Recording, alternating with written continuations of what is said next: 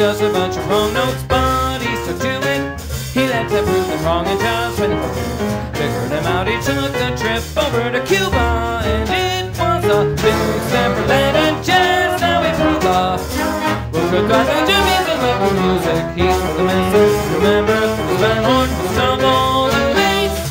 Little Bobby when he played his trumpet, that's why they call